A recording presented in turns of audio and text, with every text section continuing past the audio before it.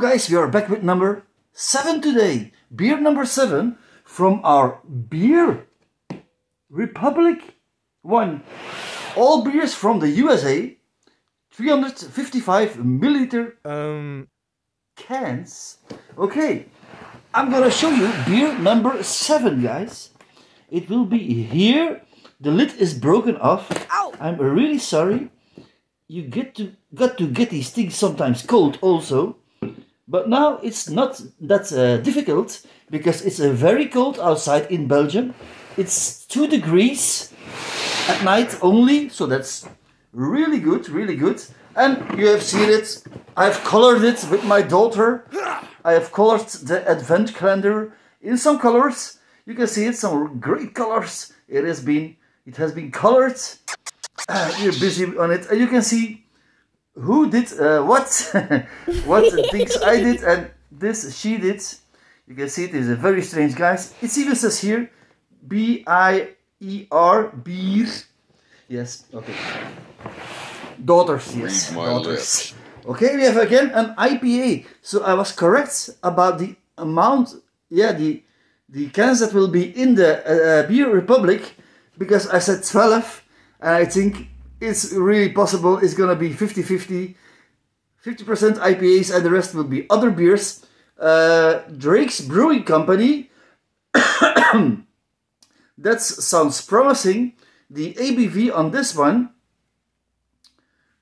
uh, it's standing here somewhere uh, 7% alcohol by volume 64 IBUs.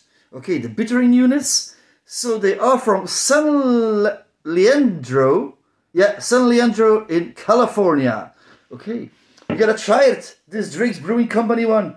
India Pale Ale. The best coast India Pale Ale. Oh, sorry, uh, a slight hiccup. Uh, the best coast India Pale Ale even. This was the beer, number six.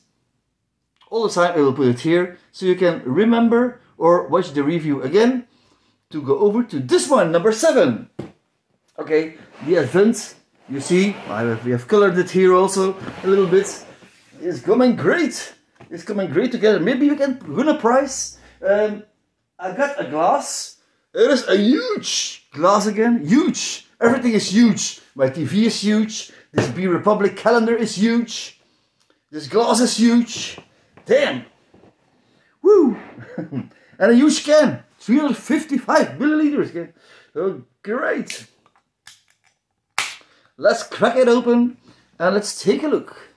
In this huge glass from a company, again from Wallonie, if I'm correct, could be also from France, not 100% sure, but I think it's from Wallonie. Okay, the glass is very strange indeed, very strange. Brasserie du Mont Blanc, it's called the brewery. Not this one, this is Drake's Brewing Company, by the way, guys. So you won't be mistaking. 7% ABV, try it. Looks hazy, orangey in color, one finger head to it. It isn't your really steady and creamy one, but uh, yeah, if it's a good beer, no one is complaining, guys. We're gonna try it. Cheers. First to the nose. It smells again really tropical, like the other two I had before, the number three and number five. Yeah, those were great beers. If I remember, I think it's correct. The three and the five. Uh, let's try this one. If it's even that refreshing, that tropical, a pint to drink at your pub when it's summertime, I will be really happy. Yeah, okay, cheers. Emergency power activated. Mmm. The Best Coast IPA has many influence from a West Coast IPA. Who would have thought of that, guys?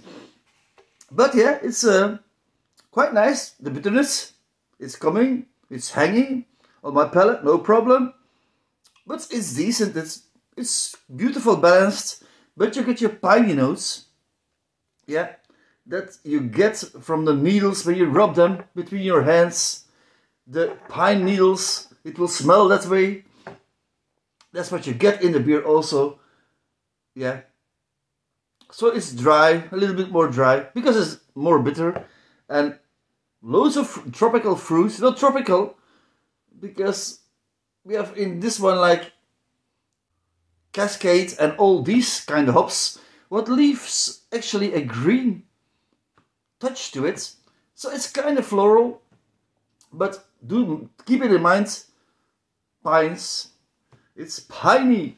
Okay, uh, a rating. I gotta give it a rating. It's full. It's balanced. It's creamy in the mouth. It's yeah. It's really slight thirst quenching, although it is bitter and kind of dry. Um, it is overly hopped. That's a good thing.